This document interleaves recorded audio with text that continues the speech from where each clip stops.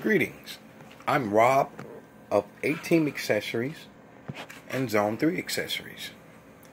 I live in Atlanta and the purpose of this video is to sell this original Compaq suitcase portable computer.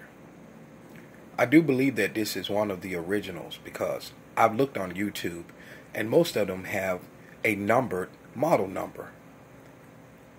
But on this one, there is only the word Compaq in large caps as the model number, as I will show you. It says manufactured by Compaq Computer Corporation, made in USA. And as you can see, the model number only says Compaq. I've not seen this on any other models on YouTube, on eBay, on Craigslist, or anywhere else.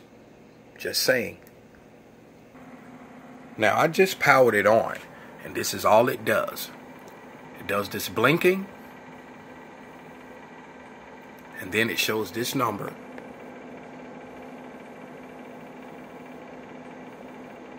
And then it shows that. And it just continued to show that. As you can see, it's in pristine condition. I don't even know if the keyboard works because I've pressed the button and nothing happens.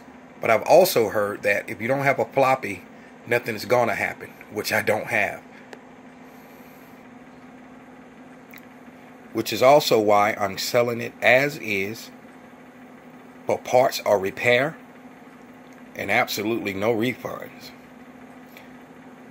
You can observe the pictures that I've uploaded for a better description of this unit.